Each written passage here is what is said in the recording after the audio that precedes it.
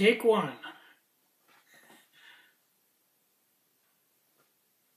Hi, I'm Tinny from Mini Bull Design, and today I'm out in the Mini Bull Design factory, and yep, I'm designing a new stove. So, been doing this for a while and thinking about it. I have come up with my next stove. So here we go. And I, I think this is probably one of the more logical things I've ever done. Uh, works fantastic. I've been playing with it just quantum leap, but simple, just like me. Okay, here we go.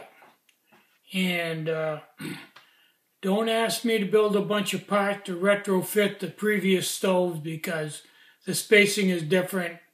Can't really be done. Uh, just take my word for it. I've tried it. I was going to make retro kits. No, just it's not worth it.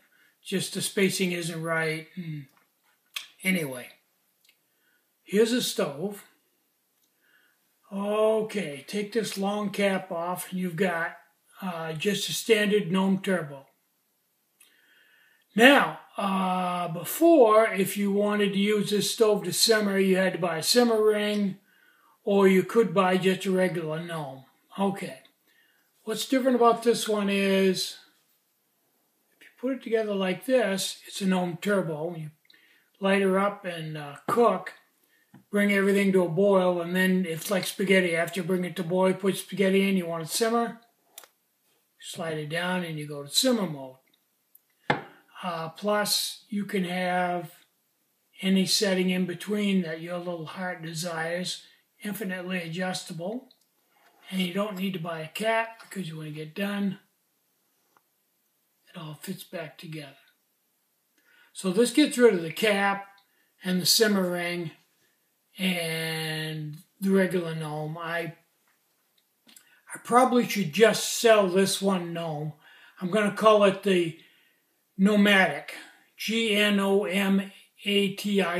Gnomatic. Nomadic, nomadic, play on words anyway. Uh, that's what I'm going to call it. It'll be in the store.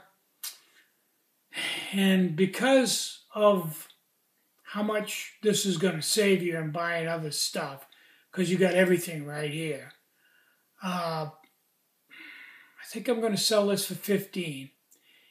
I don't know, and I haven't experimented yet with another version that I, but I think 15 for this, and it'll do everything you want to do, basically. Okay, that'll be in the store probably this afternoon, maybe tomorrow. Yeah, I think tomorrow. Uh, I'm Tinny from Mini Bull Design.